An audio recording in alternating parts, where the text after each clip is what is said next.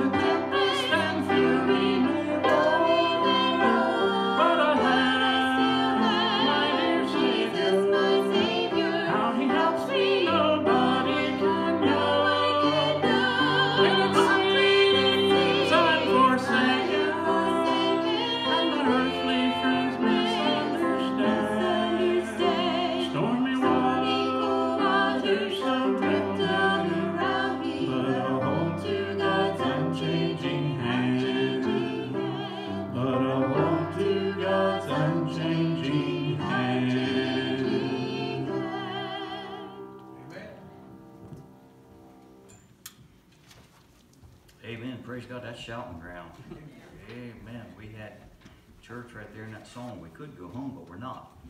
Amen. Everybody was getting excited. They was getting shoes back on. Uh, let's, uh, let's take your Bible, please, and turn to the book of uh, 1 Timothy, chapter 6. 1 Timothy, chapter 6. Yeah, that was good singing. We appreciate that so much.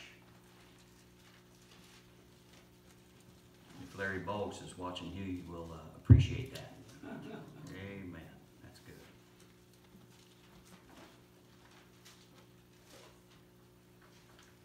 1 Timothy chapter 6.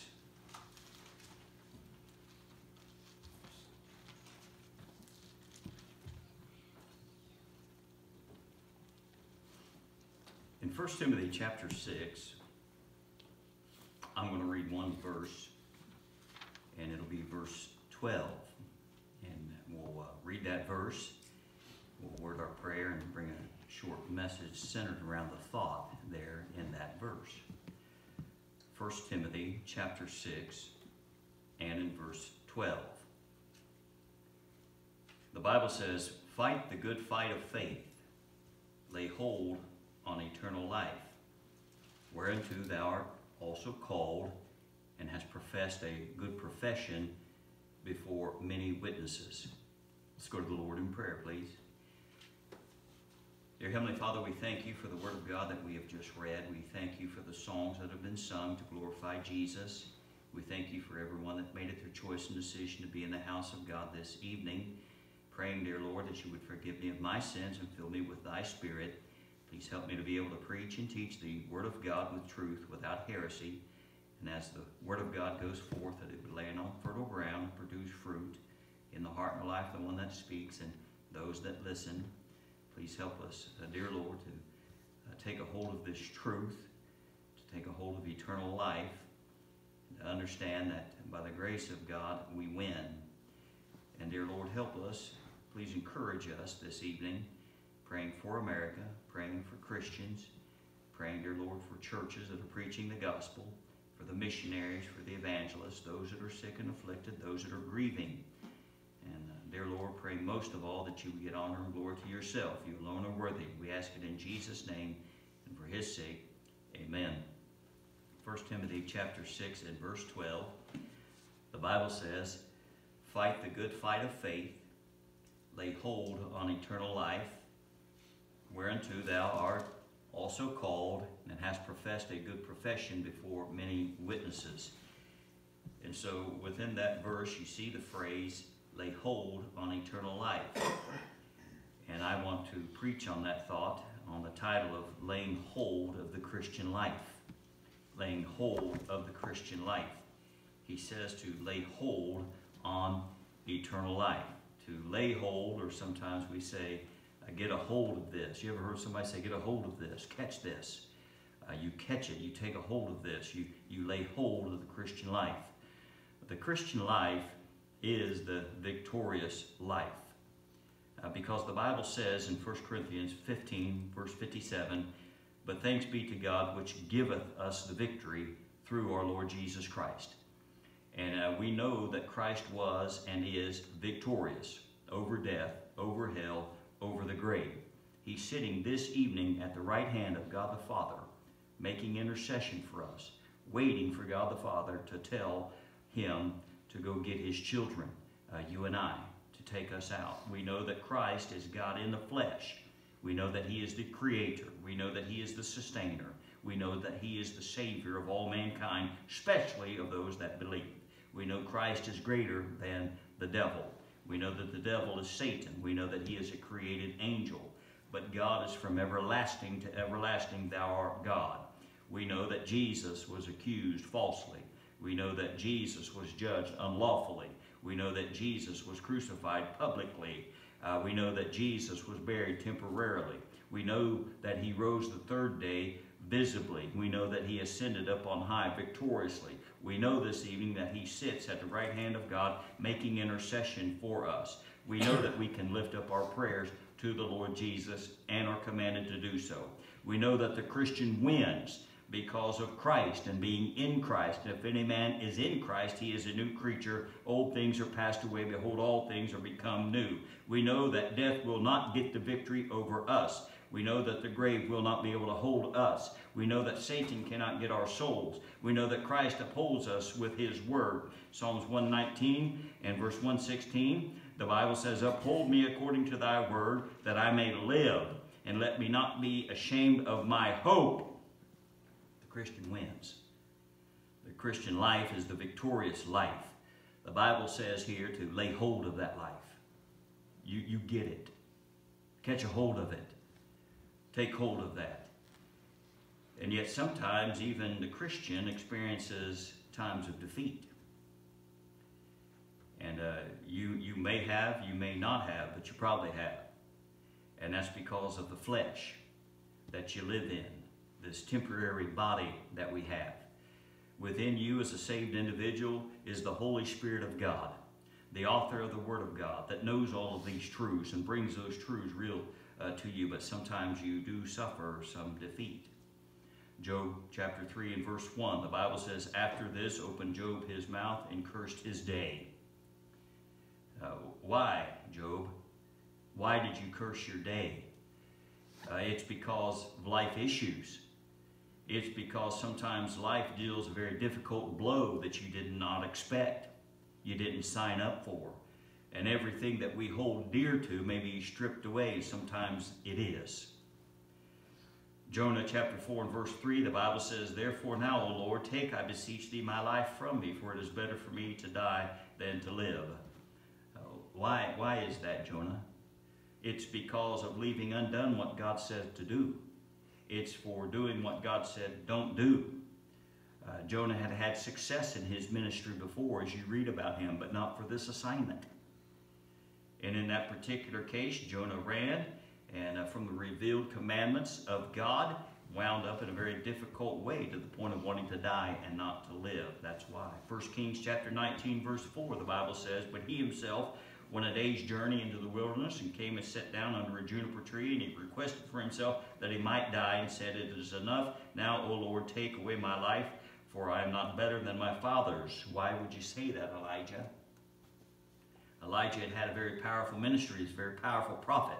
He was used of God, but it's because sometimes giving all of your all into the ministry and doing what God wants you to do in the will of God, not out of the will of God, in the will of God, and preaching to others and living for God and then getting persecution or things not happening just exactly, it becomes some point of hopelessness. Those are all recorded in God's Word for you and I for our learning and admonition. Romans 15, 4, the Bible says, For whatsoever things were written aforetime were written for our learning, that we through patience, patience, patience, and comfort of the Scriptures might have hope.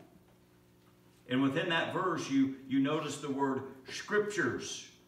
Scriptures. That in, in Scriptures that you have hope. And that through that you have patience, the patience of God. And that develops hope. Hope in God. Hope in the Word of God. Uh, you win as a Christian. You're, but you're not always on top side. But you do win. And the, the Scriptures tells us that we win. Uh, the Scriptures tells us about that, that God brought all of these individuals that we mentioned through and God will bring us through as well. Through whatever that He needs to bring us through. Lay hold of the Christian life. Laying hold of the Christian life with all of its ups and downs, and there are. It's the truth of it. The ins and the outs, sometimes roller coaster ride of life. And you and I must lay hold of eternal life, which is the Christian life we have to lay hold of the truth that we are called of God. The Bible says in our text verse this evening, 1 Timothy 6.12, Fight the good fight of faith, lay hold on eternal life, whereunto thou art also called. Uh, you and I have to lay hold of the truth that we are called of God. In Luke 19.10, the Bible speaks that the Son of Man has come to seek and to save that which was lost. Jesus did that. He left heaven's throne to come to earth. He, he took on a body of flesh that he, he might die, that he did die for your sins and for my sins. And the Son of Man came to seek and to save that which was lost. And you and I have to take hold of that truth. That'll give you a reason to live and not want to die. You take a hold of that truth. I catch that truth. Have you ever caught something? You, you catch a hold of something and you say, I have a reason to live. You need to take a hold of eternal life. You need to take a hold of the Christian life. Get a hold of that truth that we're called of God. We have to lay hold of the truth that our salvation is eternal. It's not temporal. It is eternal. The Bible says, fight the good fight of faith. Lay hold on eternal life. Catch a hold of that truth. Lay a hold of that. Eternal life, salvation is eternal. It's not temporal. It is forever. It's eternal life. We have to remember while we can that we have made that profession of faith public and we're not ashamed of Jesus. The Bible says, whereunto thou art called and hast professed a good profession before many witnesses. You professed Christ. You professed Christ a good profession before many witnesses. Keep a hold of that truth. Don't back away from that truth. All by the grace of God, you've professed Christ. You keep professing Christ. You don't back away from that truth. lay a hold of the Christian life.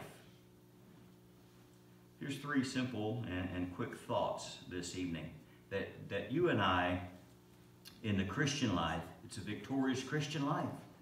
Praise God for that. But there are times, there are times because of the flesh, and you read it in the Word of God, that you can get to this uh, downside, not top side, the defeated side, not the victorious side. Uh, depressed, discouraged, defeated, whatever that you want, and come to the point to say, like those prophets said, it's better for me to die and not live. No, it's not. It's better for you to live. Why? Because God has you here as an ambassador. God has you here professing Christ. God wants you to take a hold of eternal life, to take a hold of that truth. And it's better for you to live. In Acts chapter 11, verse 23, take a hold of the Christian life. Laying a hold of the Christian life, number one, in that it is purposed. Purposed. In Acts chapter 11 and verse 23, you lay a hold of eternal life, you lay a hold of the Christian life, you get a hold of that truth and want to live, not to die, because you have purpose. You have purpose. A person that has purpose has a drive to want to live. And that's what he's talking about. Hey, fight the good fight. Hey, fight it. Lay a hold of this truth in Acts chapter 11 and verse 23. Now watch this. Who, when he came and had seen the grace of God, was glad. When he came, uh, this uh, preacher, that he came, he had seen the hand of God on some people. And people were getting saved. And when people get saved, it brings encouragement to a child of God, or it ought to. It ought to encourage you if somebody gets saved. And they were glad. He was glad. When he saw the grace of God, he saw uh, something going on for the Lord. And it made him glad. It encouraged him. And then with his encouragement, he encouraged them. He exhorted them. He encouraged them. What did he encourage them to do? That with purpose of heart they would cleave unto the Lord. Make it your purpose. A topside child of God ought to exhort others and encourage them and pick them up and lift them up and encourage them. Don't quit, man. Fight the good fight. This is your purpose. Take a hold of that truth. You can do it through the grace of God, through the Word of God, through the encouragement of the Word of God. Cleave unto the Lord, he said, exhorted them, encouraged them. Purpose. Purpose it in your heart. It'll give you purpose. The Christian life is lived with purpose. It's on purpose, in opposition to a desire to give out, throw in the towel, give up, give in. Live on purpose. Live. Going to live on purpose to encourage somebody else, to exhort somebody else, to encourage them. In 1 John chapter 3, you notice this in 1 John chapter 3.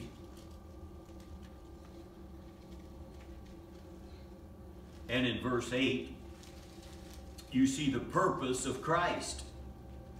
You see his purpose.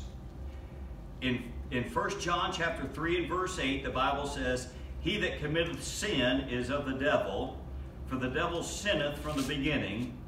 For this purpose the Son of Man was manifested, God robed in flesh, God taking on flesh, knowing from the foundation of the world what would take place on the cross, that he might destroy the works of the devil. I'm glad that Jesus never got defeated in that. He never backed up on that. He never changed his mind on that. Uh, and yet in his flesh, he was tempted at all points, like as we are, yet without sin. But that was his purpose. That's Christ's purpose. He knew it and he lived it. The Christian has a purpose. The Christian has a purpose. In 2 Timothy 1 9,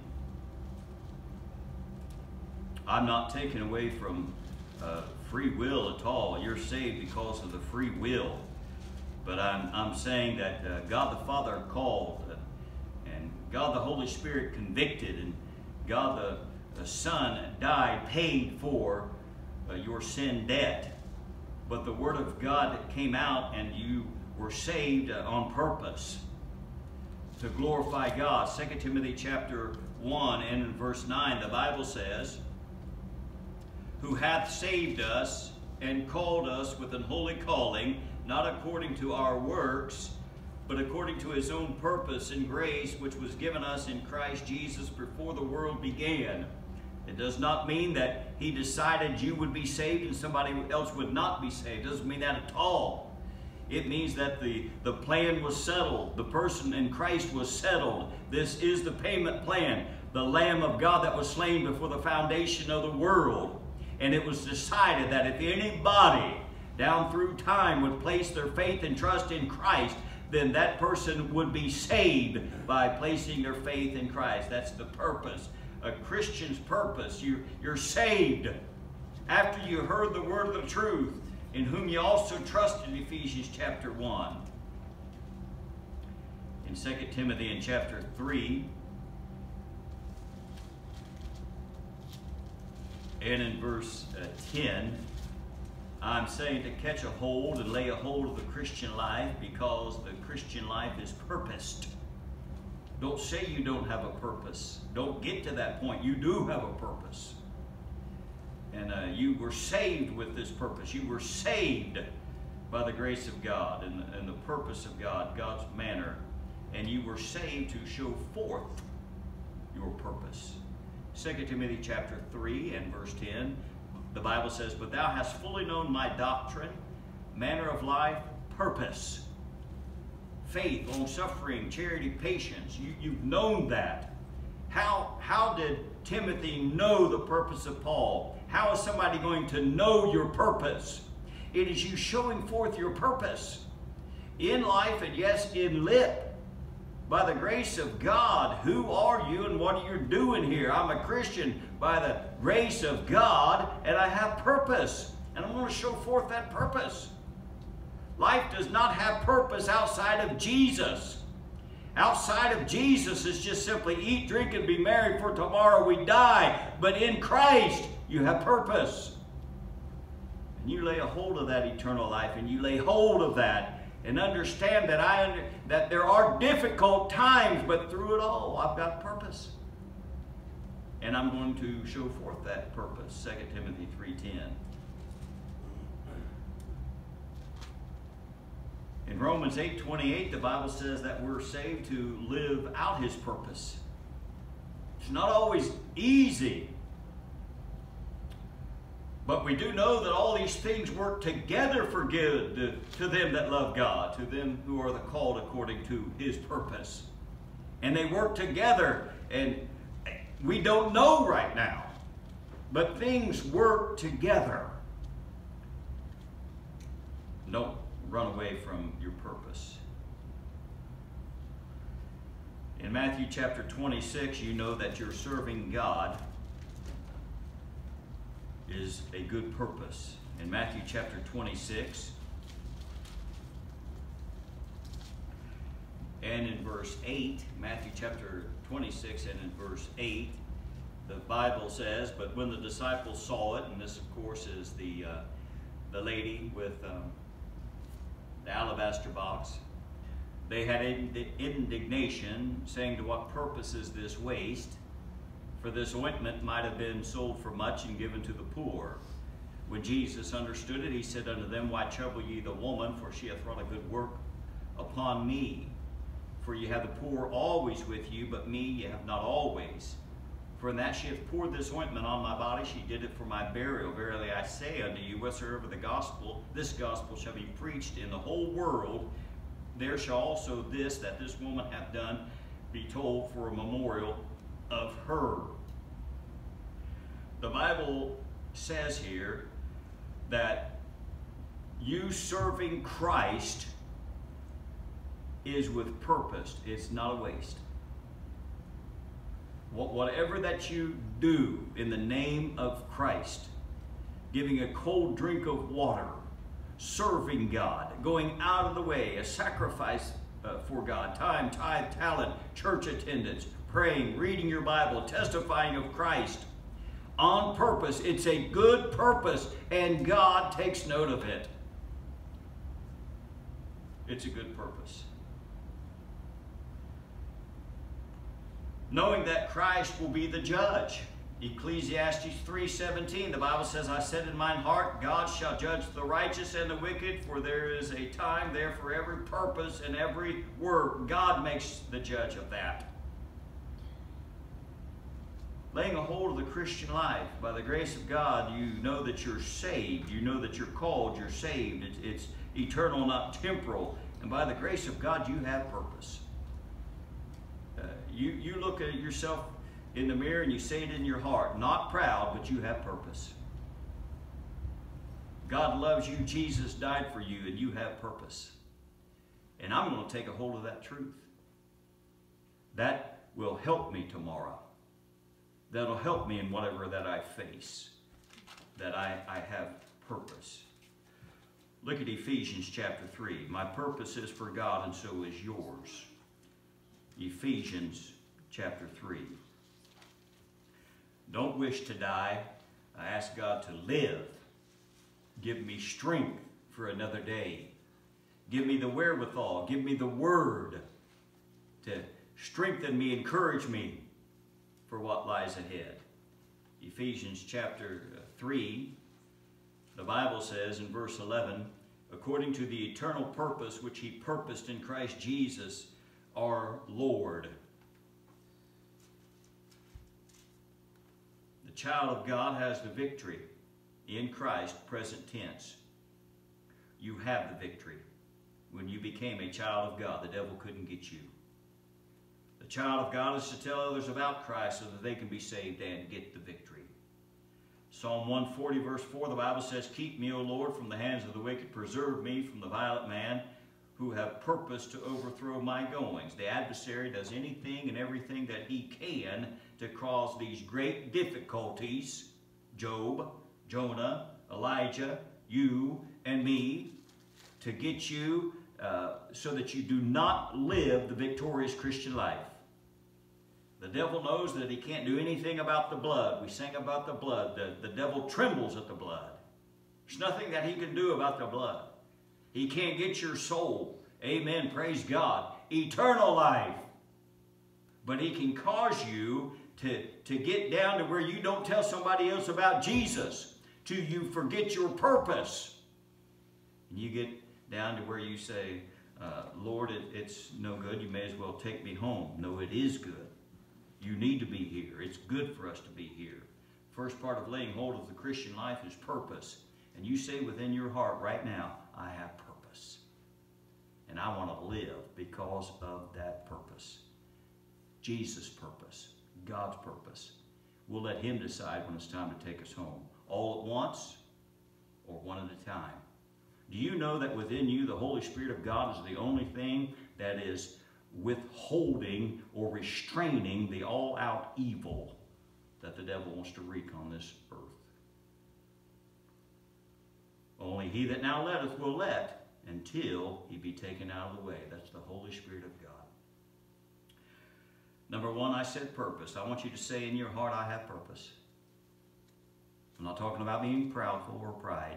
I want you to say, I'm a saved child of God by the grace of God, and I have purpose. When the devil gets on your back and you start to get down, shake it off, lay a hold of eternal life, and say, I have purpose. Here's number two in laying hold of the Christian life. Of course, the reference is in Judges chapter 8, verse 4. In Judges chapter 8, verse 4. In Judges, the theme is every man did what? That was right in his own eyes. Is that kind of America today? I mean, it's getting it's getting there, close. And uh, every man is doing that which is right in his own eyes. So it was a difficult time. Uh, Joshua, uh, Judges. If I can get to the right place. Judges.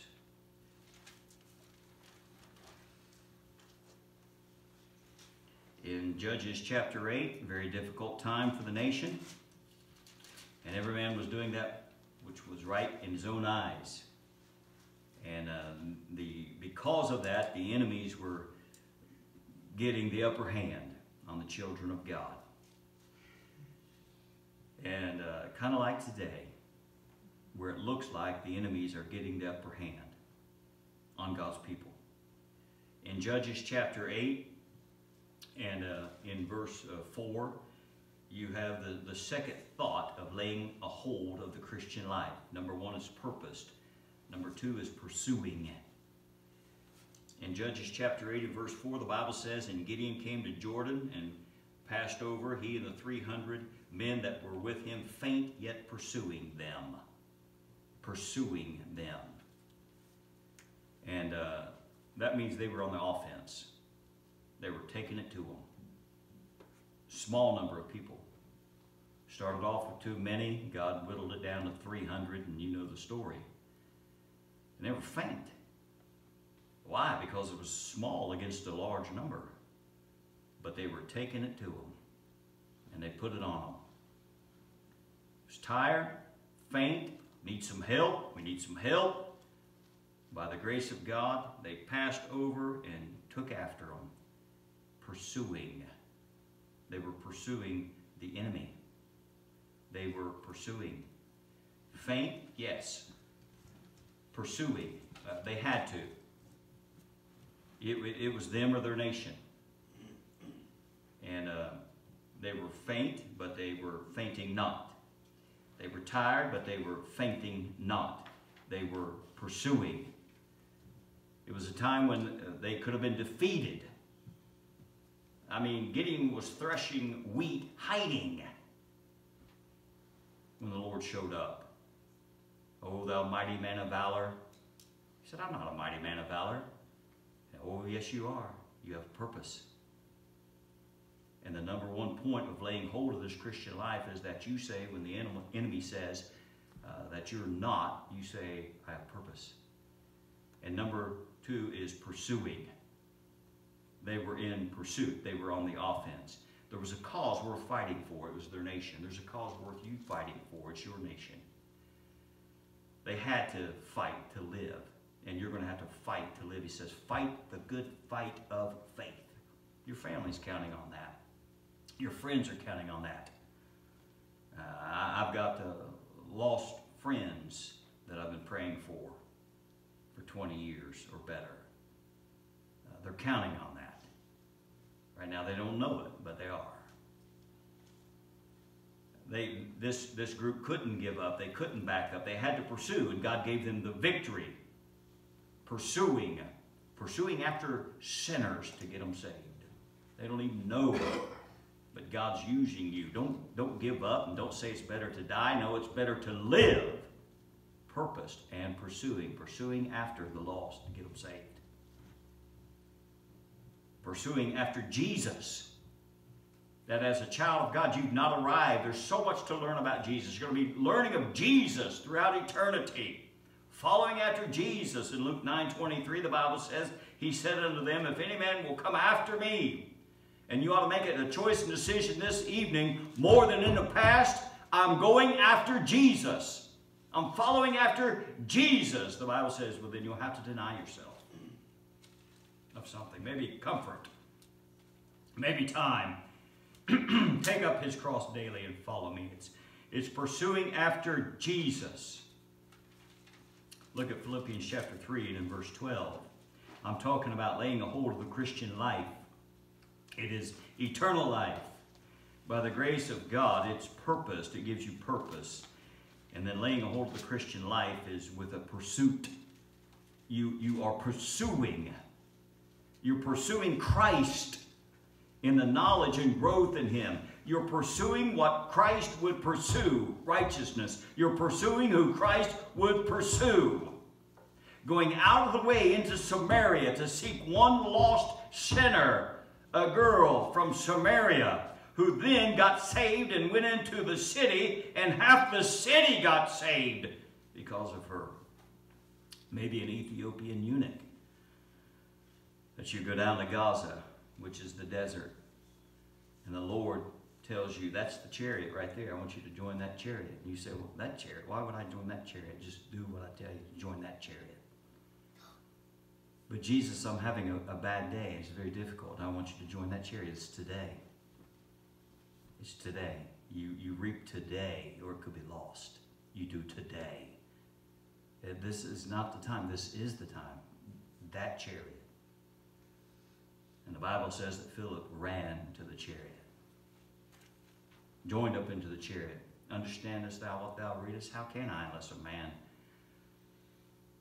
teaches me? And he read from the book of Isaiah. And Philip, being versed in the scriptures and was able to give an answer to every man that asketh him with the hope that lies within him because he had been a Bible student, was always up in the morning before he went to work and read his Bible.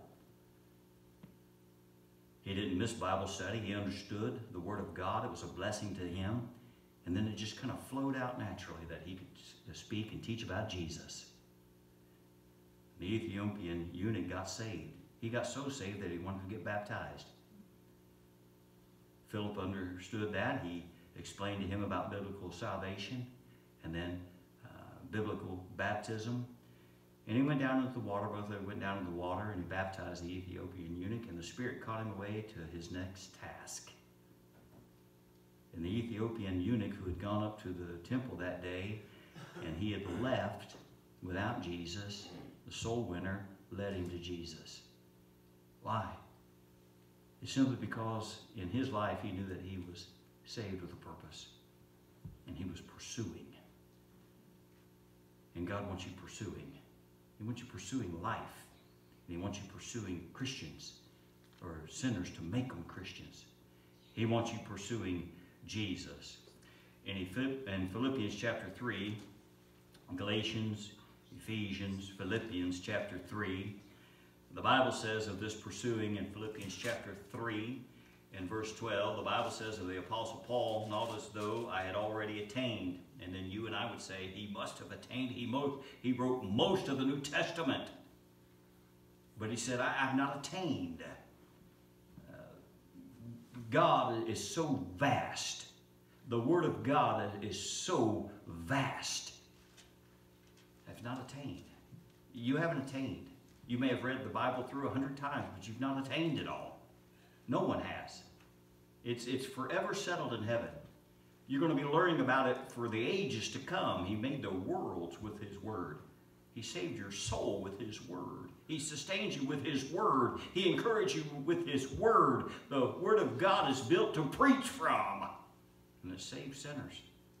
Encourages saints. It, it has people coming out on a snowy night to hear the Word of God and to be fed. It's, it's the, the most sold uh, book in the world. Man has tried to destroy it and they can't.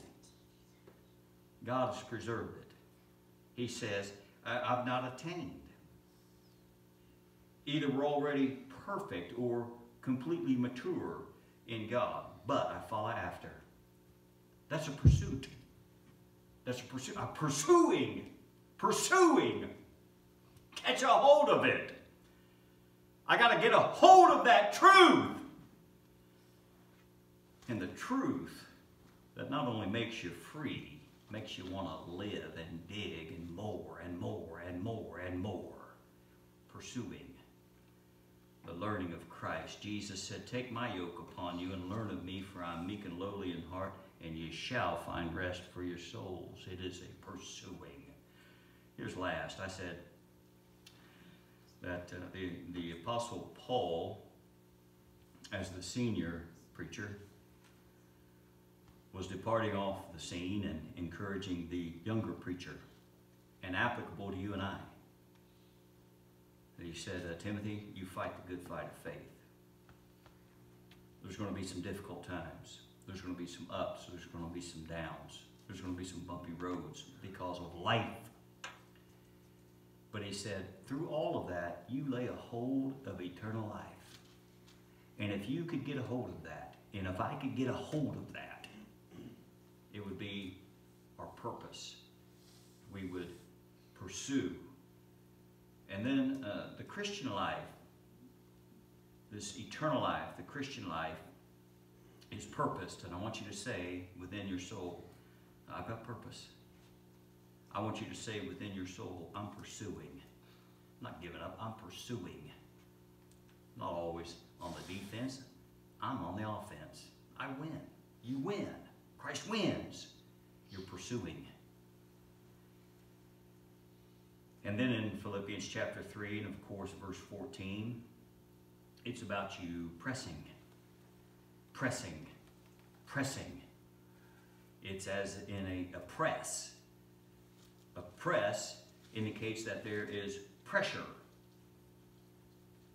And he says in verse 14, Philippians 3:14, I press uh, toward the mark for the prize of the high calling of God in Christ Jesus. The Christian life is pressing on. I press. Press indicates that there are difficulties. Uh, there are dangers. There are some momentary defeats. There are some temporary discouragements. There are some temporary uh, disappointments. But you don't ask to die. You ask for strength to live. You don't desire to give up in defeat. You count on God for victory. You don't give up. You ask God to show up. Show forth His mighty hand. He has done it. He will do it. And He can do it again. Right now, in this life, in this circumstance, press on. Fighting, finishing, keeping. 2 Timothy 4 7. I have fought a good fight. Timothy, you fight the good fight. I have finished my course. Timothy, you catch a hold of this truth and don't let go of it. You catch a hold of eternal life. I have kept the faith. Laying a hold of the Christian life. If you and I would lay a hold of that, we wouldn't be asking to die, we'd be asking to live. I've got a purpose when it gets on my back and when the circumstances come and the winds blow and I've got a purpose. I'm going to look for God in that purpose. There's a purpose to this. It's going to work together for good. Why? Because I love God and you love God. Not only this purpose in life, but a pursuing after God, after righteousness, after who God would pursue. And then number three and last, I'm pressing. I'm pressing on the upward way. New heights I'm gaining every day. Pressing on. Press on. Press on. Press on. Lay hold of the Christian life. Purposed, pursuing, and pressing. Pressing on. Lay hold of eternal life. Paul told Timothy, and it's applicable for you and I. Lay hold of that truth. You get a hold of that truth, and it'll help you. It'll help you this week. Let's pray. Dear Heavenly Father, we thank you, dear God, for the Word of God. We thank you, dear Lord, for saving our souls, seeking us for salvation, for saving us. We thank you, dear God, that you're still saving sinners. We thank you, dear God, that you still use saved sinners to pursue after lost sinners.